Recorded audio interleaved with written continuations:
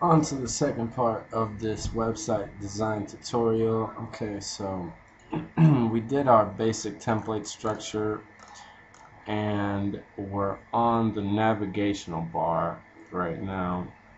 And it's looking pretty good. Possibly we could make it a little better by making um, the font here smaller. Okay but you can just play around with it on your design and kind of try and get a better effect in here. I'm not really gonna go into it. This is a basic tutorial. I don't want to go into that much detail.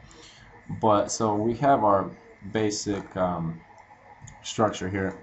We're gonna go ahead and make the logo now. So go ahead and make a new group. Name that logo. Now you want to see how we could do this here go ahead and select your uh, navigational bar layer and go to select load selection. Okay. Now go back to your logo group and make a new layer. Now move the selection to the left and try to have it at, at the same amount of space like as it is on the left and right side. Okay so now select your paint bucket tool and you want to fill the selection with the gray okay? Now move your logo under the navigational bar okay? Okay now select um, the selection you just made and set an inner shadow to that. Okay. Set the distance to zero and about 60 per 60 percent opacity okay. Now you might want to set a gradient overlay on that as well and set that on overlay. Okay oh, let me just check something here. About 55% opacity. Um, okay. About 50 55% opacity. Okay now you want to we're, we're just gonna do a basic um, text logo maybe with a shape or something like that. So let's just name this. Apex okay now make sure you have uh, a white um, a white color selected. Okay.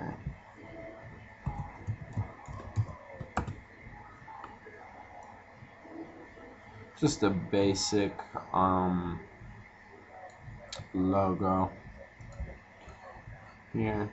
You could really um, text logos like this a lot of people don't realize the potential but you can make a lot of different logos with just text. So you want to take advantage of that. Okay, so now we have our basic logo. Pretty basic pretty simple. Okay. Now, let's go ahead and let's go ahead and do um,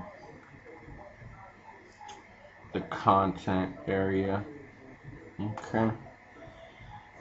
So go ahead and make a, a new group.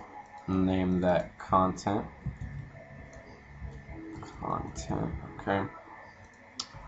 Now, I think we could do just a simple basic content right here and a slider at the bottom to make it a little better. So we could do that. Just go ahead and go back to your logo um, group and duplicate the gray selection you had. Now let's put that right about here. Okay, actually, this is just gonna this is gonna be our footer, um, and then we'll make the slider after the footer. So just do that. Uh, you could move this up and make a new group called footer okay now drag that in there and control T transform your selection so it goes all the way to the end right here. Okay.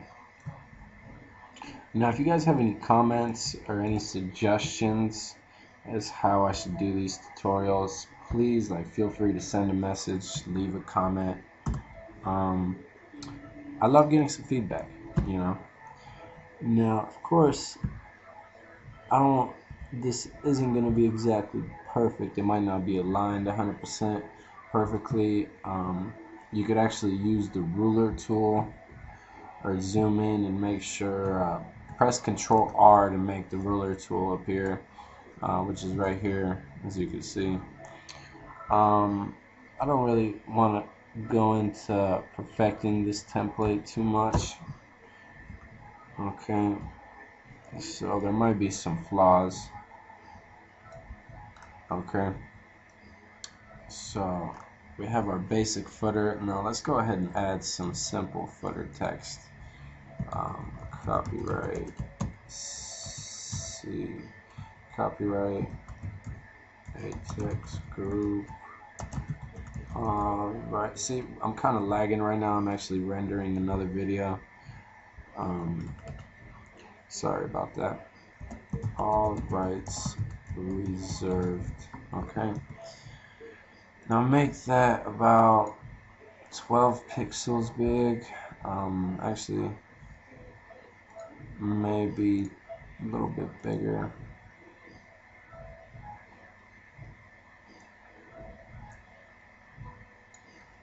Okay, and let's actually just use Arial uh, the font for the footer and our content text. So this this is a basic font. You should already have it installed. Okay.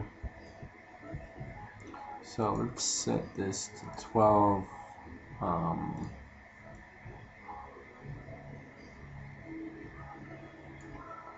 and I'm not gonna go ahead and again go into too much detail as far as grabbing like the copyright symbol and uh, things like that so just use your imagination you know um, okay so now let's go ahead and duplicate our logo and just add one at the bottom right corner um, move that into your footer group so you can see it of course Okay, maybe resize it a little bit.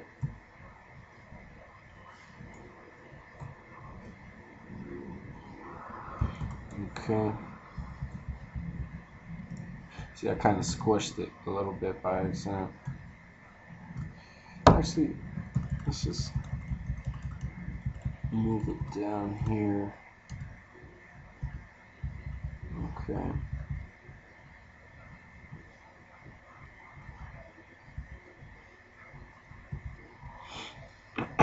okay. Now resize it a little tiny bit.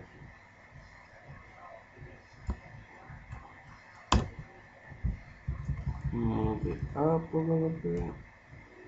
Okay. Okay, so now we have our basic structure, the footer, um, and the navigational bar. So now we could add some basic content I'm not really that good at the content areas.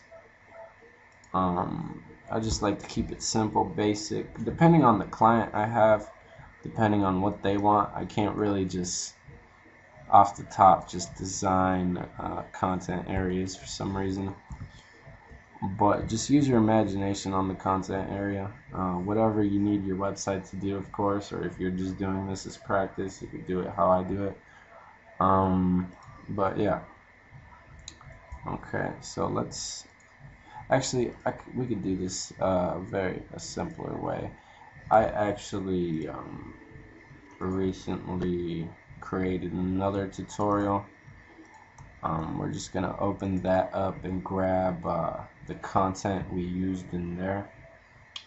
Now this is pretty simple. All I did was uh, here when it opens up. All I did was uh, just add a number and then a basic paragraph. Okay. So, and I got the filtered text from uh, lipsum.com.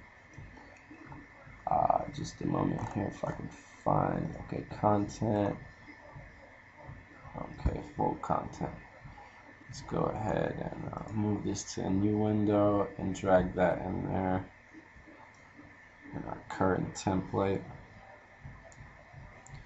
Okay. okay, now um, one second here.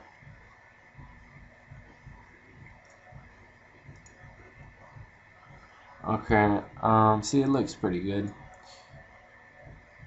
Now, you could just keep a content area like this in the full section or uh,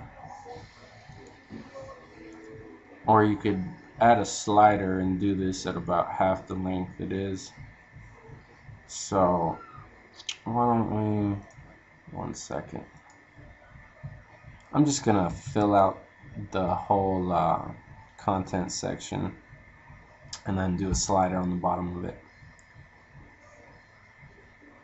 Okay. Oh, see we're lagging a little bit. Sorry about that.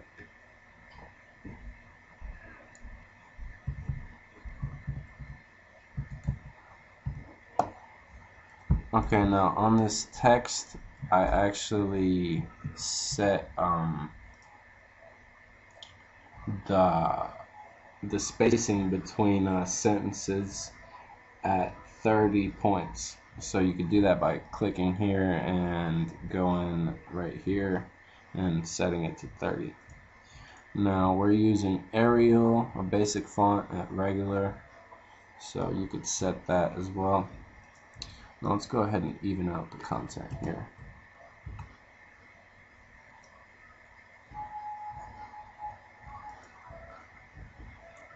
Okay.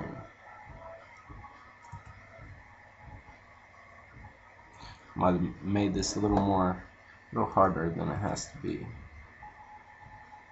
Um, see, we're lagging a little bit because the video I'm rendering again.